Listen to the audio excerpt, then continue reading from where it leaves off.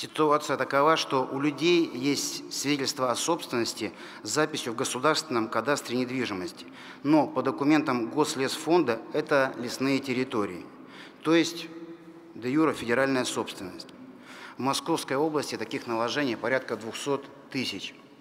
Таким образом, люди рискуют потерять свое имущество, и уже стали возникать случаи судебных разбирательств, в которых добросовестные собственники вынуждены отстаивать свое право в судах.